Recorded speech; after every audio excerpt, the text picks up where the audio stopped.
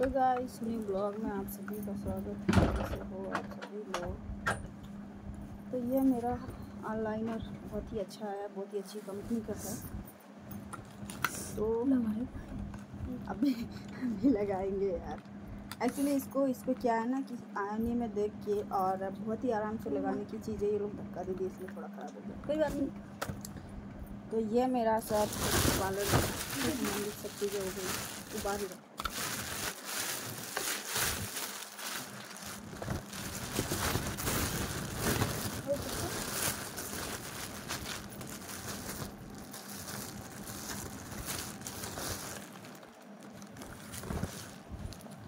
तो गाइस आपको मेरी चीज़ें कैसी लगी ज़रूर बताना और ये देखिए, ये मैंने कल कौन कौन सी सब्ज़ी लाई थी ये भी दिखाती हूँ। बड़ा आता है मुझे आपको दिखाने ये लौकी, ऐसे मेरा छोटा सा बेबी भी होगा एक दिन से मैं उसको गोद में से खिलाऊँगी।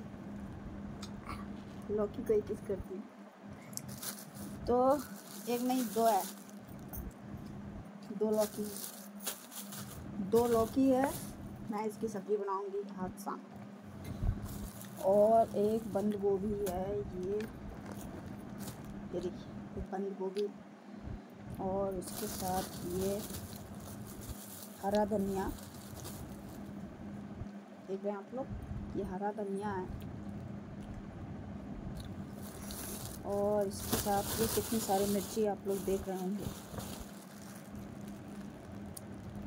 तो ये है हरी मिर्ची। और ये धनिया। बाकी का सब चीज़ें रख दूँ फ्रिज में रखना है इसको। और ये देखिए, कल मैंने कौन कौन सी फ्रूट लाए थे। ये केले मैंने लिए थे कल, एक दर्जन। तो रास्ते में दे दिए, किसी को मांग रहा था। तो ये केले सिर्फ़ दो ही बचे।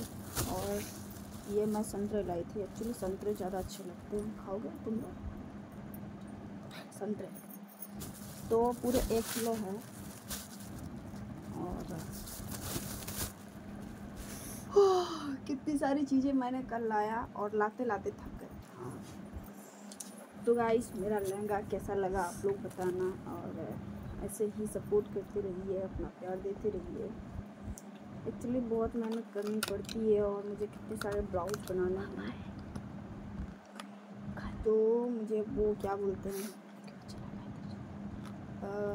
मुझे लहंगे का ब्लाउज सिलना है, नौ ब्लाउज अलग से और मेरा खुद का ब्लाउज नौ अलग से।